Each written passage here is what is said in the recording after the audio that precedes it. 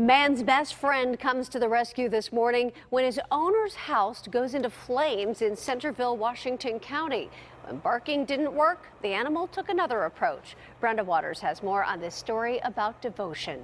I didn't hear the smoke alarms. I didn't hear anything. If, I, if it wasn't for my dog getting me up, I wouldn't have got up. That dog is a white German Shepherd named Ghost. Bill Kinnear says he lost his house this morning in that fire, but thanks to Ghost, he didn't lose his life. I was completely sleeping and he jumped up on my bed and was barking and jumping up and down and woke me up. We came uh, to Vesta Street here, uh, finding a fully involved structure fire with heavy flames uh, coming out of the roof, coming out of the front of the building.